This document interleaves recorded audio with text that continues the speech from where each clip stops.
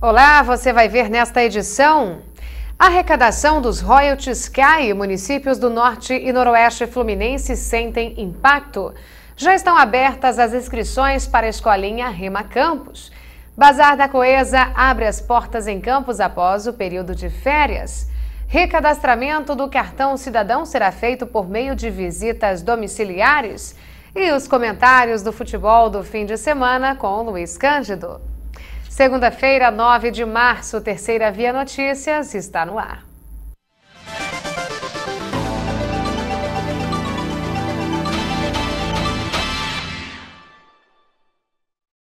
Olá, boa noite. A arrecadação dos royalties cai e municípios do norte e noroeste fluminense sentem os impactos da redução dos valores repassados pelo Estado e governo federal. Medidas drásticas estão sendo tomadas. A reportagem é de Letícia Nunes. Você sabe o que são e para que servem os royalties do petróleo? Sei não. Sei. O que são os royalties do petróleo e para que, que serve? Serve para benefício da cidade. Então, e foi cortado, diminuiu muito, atrasando a cidade. É para ser investido no, na cidade, mas não é. A cidade nossa é uma cidade rica, nos impostos daqui, mais o ROIS e essa calamidade que está aí. São tipo uma bonificação em dado aos municípios produtores e os estados para que, né, para compensar o, o, o caos que pode causar o meio ambiente. Serve para o governo distribuir bem, investir em problemas sociais, educacionais, etc. Uma das formas mais antigas de remuneração de direitos e propriedades são os royalties. No caso do petróleo, as empresas que retiram a matéria-prima têm que pagar um valor em dinheiro aos governos para terem direito à exploração. Com a queda do preço do barril de petróleo, a arrecadação dos royalties diminuiu entre 30% e 40% em relação ao ano passado. Para se ter uma ideia, em 2014, as cidades produtoras receberam 18,53 bilhões de reais do pagamento dos royalties.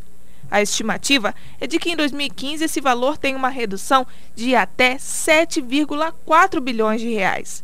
As cidades mais afetadas são as da região dos lagos e do litoral norte fluminense. Por isso, os governos municipais começaram a fazer cortes de até 25% nos orçamentos. Em São João da Barra, que tem 62% das receitas provenientes do petróleo, houve redução nos contratos da prefeitura. Em São Fidélis, uma série de medidas que visam conter os gastos públicos foi anunciada para este ano entre elas a suspensão de todos os eventos culturais da cidade. Já em Macaé, 10% dos salários dos funcionários comissionados, incluindo do próprio prefeito, foram cortados. A cidade de Campos dos Goitacazes liderou a lista de municípios que receberam dinheiro dos royalties do petróleo no último ano. A prefeitura embolsou 632 milhões de reais em 2014. Com a diminuição da arrecadação, o orçamento teve que ser reduzido em 25%. Os contratos também foram alterados e tiveram corte de no mínimo 20% nos valores. Olha, a região toda, né, os municípios que fazem parte da Umpetro, só nos dois primeiros meses desse ano, somando royalties e participação especial, né, a perda foi em torno de foi superior a 270 milhões. Só Campos cerca de 110 milhões, volto a frisar, só nos dois primeiros meses de 2015. Isso dá uma queda percentual superior a 50% em relação ao mesmo período do ano passado. Em 2009, o orçamento de Campos dependia de 74% das arrecadações dos royalties. Hoje, esse valor chega a 54%, uma redução de 20 pontos percentuais em seis anos. Para este economista, o impacto da crise poderia ter sido evitado se os municípios tivessem se prevenido antes. Todos os municípios que recebem royalties deveriam ter pensado nisso antes, né? Todo mundo sabe que o petróleo é um recurso finito, né, que poderia acabar, poderia ter, a legislação do royalties poderia ter mudado, houve uma discussão recente, mas não, não acabou, mas em, mas em compensação o preço do barril despencou e com ele os royalties. O que deveria ter sido feito? Pensado nisso antes ou criado um fundo de reserva, investido em infraestrutura para atrair empresas que de certa forma, diminuiriam esse, esse problema, atenuariam esse problema, por quê? Porque os municípios ficariam menos dependentes dos recursos do petróleo. Alexandre também faz algumas recomendações do que deve ser feito daqui para frente. Felizmente, nesse momento não resta nada a não ser os cortes que estão sendo feitos para adequar as despesas à entrada, ao ingresso de recursos. E, na medida que os preços se recuperarem um pouco, ou que a receita é, for mantida, usar parte desse dinheiro para investimentos em infraestrutura que atraiam empresas para a região. Essas empresas vão gerar receitas né, provenientes dos encargos que elas recolhem, mais os empregos que, ela, que elas vão gerar para substituir eh, parte dessa perda que aconteceu em função da queda do preço do barril de petróleo e da queda da produção dos postos da região. A Polícia Rodoviária Federal e o SEST Senat vão distribuir folhetos sobre as últimas mudanças ocorridas na legislação de trânsito. A ação vai acontecer em frente ao posto Lagamar da PRF, a partir das 8 da manhã no próximo dia 20. Os motoristas devem ficar atentos ao início da vigência da Resolução 460 do Conselho Nacional de Trânsito, que é agora em abril. Segundo especialistas, as alterações aumentam a segurança no trânsito. Uma das mudanças é a exigência do exame toxicológico para indicar o uso de substâncias psicoativas como rebite, cocaína ou maconha. O exame será realizado durante a emissão ou renovação da Carteira Nacional de Habilitação nas categorias C, D e também a E.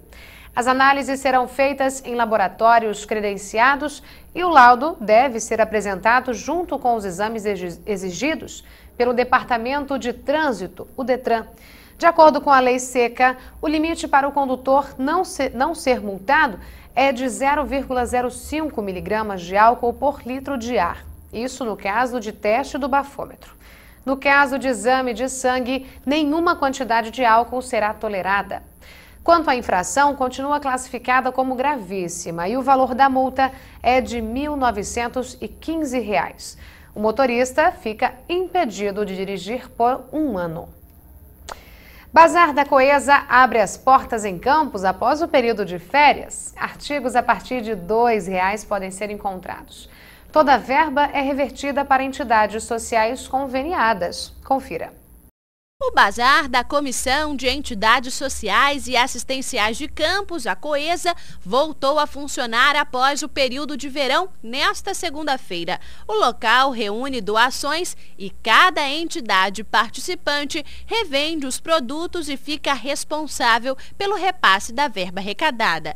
Olha, o horário de funcionamento será de 9 ao meio-dia, 9 às 12 e de 14 às 18, de segunda a sexta exceto assim, verso Dia das Mães, que a gente trabalha até no sábado. Peças novas e seminovas, artesanatos, roupas, biscuit e diversos artigos podem ser encontrados no bazar. As peças de artesanato vendidas no bazar, como esta almofada de crochê, são confeccionadas por artesãs que atuam em algumas das entidades. Em 2014, o Bazar da Coesa registrou um crescimento de 25% nas vendas, em comparação ao ano de 2013. A esperança nossa é de chegar a 50%. Muito trabalho pela frente. Muito trabalho, muito trabalho. Dona Helena ficou só namorando a vitrine. A senhora costuma visitar aqui o Bazar Coisa? Compro alguma coisa, sempre compro. Sim, sempre coisa legal. Sempre tem coisa boas. Muito bem feito, muito bem feito, muito caprichado. É um convite a toda a comunidade né, campista para vir prestigiar o Bazar Coesa. É muito importante porque vocês vindo, comprando no Bazar Coesa, vocês estarão ajudando as pessoas menos favorecidas do nosso município. Estão abertas as inscrições em Macaé para o curso Jovens Contadores de Histórias. A formação especial voltada para alunos do sexto ao nono ano da rede municipal será ministrada pelo Grupo de Referência de Contadores de Histórias da Secretaria de Educação. Ao todo, estão sendo oferecidas 40 vagas. As inscrições podem ser feitas até o dia 10 de abril na sede da Secretaria de Educação, situada na rua Antero Perligueiro, número 402, no centro, das 8 da manhã até as 17 horas. O curso começa no dia 10 de abril na sede da Secretaria e vai acontecer todas as segundas-feiras. A programação será realizada nos horários divergentes aos da aula. O objetivo é aguçar a imaginação e o interesse dos alunos pela leitura. E você vai ver logo depois do intervalo, o recadastramento do cartão cidadão será feito por meio de visitas domiciliares. Já estão abertas as inscrições para a escolinha Rema Campus. E tem ainda os destaques do futebol do fim de semana, logo depois do intervalo, não saia daí.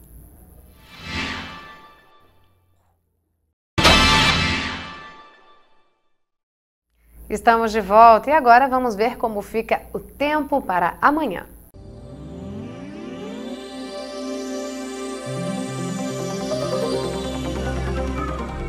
A previsão do clima-tempo para amanhã em Campos, Macaé, Rio das Ostras e região é sol e aumento de nuvens de manhã, pancadas de chuva à tarde e à noite. A máxima de hoje em Campos foi de 34 graus e é de umidade de 50%. Em Macaé, a temperatura chegou a 35 graus e 53% de umidade no ar. Em Rio das Ostras, os termômetros chegaram a 34 graus e a umidade foi de 50%.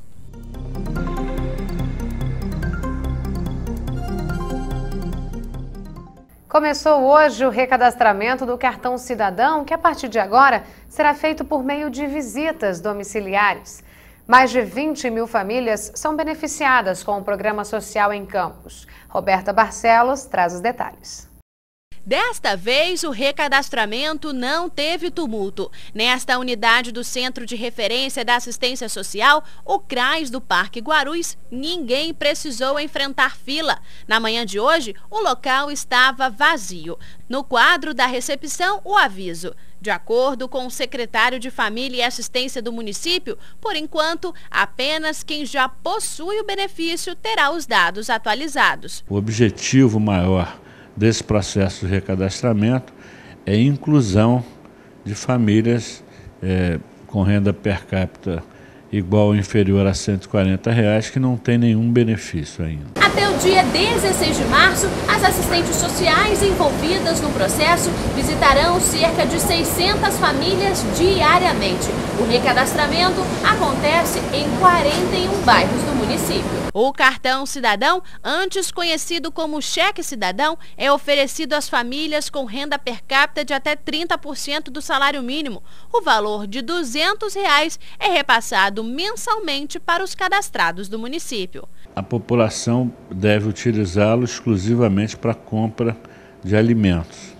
Existe toda uma rede de estabelecimentos comerciais eh, que são eh, definidos pela administradora do cartão com três filhos, sendo um deles deficiente, Ângela não pode trabalhar e correu para fazer o recadastramento, mas descobriu que receberá a visita de uma assistente social. Para ela, o benefício tem grande importância. Ajuda, meu marido agora está desempregado, né? Aí eu estou mantendo a casa enquanto ele não arruma serviço para ir trabalhar. Ele está correndo atrás, mas está tá difícil. Mas ajuda muito.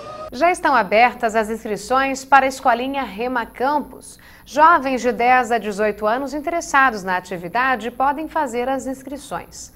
Quem tem os detalhes é a repórter Letícia Nunes.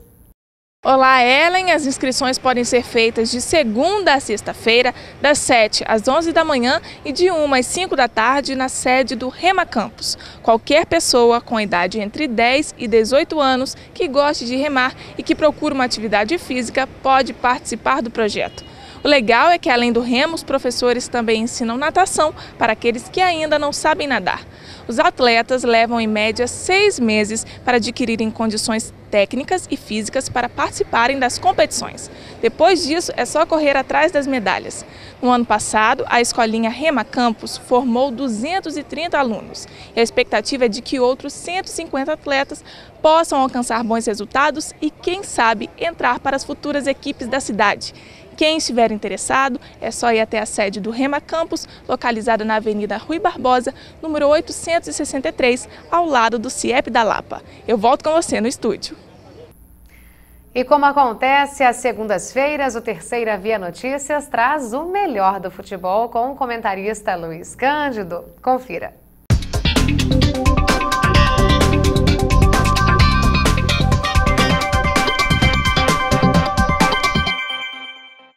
Boa noite. O Campeonato do Estado do Rio de Janeiro tem novo líder após a rodada do fim de semana. Com a vitória de ontem sob o bom sucesso, por 1 a 0, graças a um pênalti de origem duvidosa, marcado pelo árbitro nos acréscimos da partida, o Vasco da Gama assumiu a ponta do G4 com 20 pontos. Botafogo, que até então era o líder, foi derrotado pelo Fluminense por 3 a 1 ontem no Maracanã. O time da Estrela Solitária marcou primeiro com Jobson, mas o tricolor das Laranjeiras conseguiu virar o jogo com gols de Kennedy, Gerson e Fred. O Fluminense é o terceiro colocado com 18 pontos, o Botafogo tem 19, seguido do Flamengo e Madureira com 17 pontos. Por aqui, Goitacás, Americano e São João da Barra entram na fase final de treinamentos, já que o campeonato da Série B vai começar no próximo fim de semana. No sábado, Goitacás goleou o Atlético Capixaba por 4 a 0 e o São João da Barra empatou com o Campos Atlético Associação em 0 a 0 lá em São João da Barra, no estádio Manuel José Viana de Sá. Por hoje é só e até mais.